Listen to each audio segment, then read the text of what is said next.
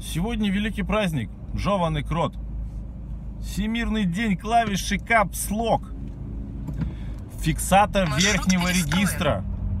18 лет в нашей жизни появился. С тех пор не утихают споры.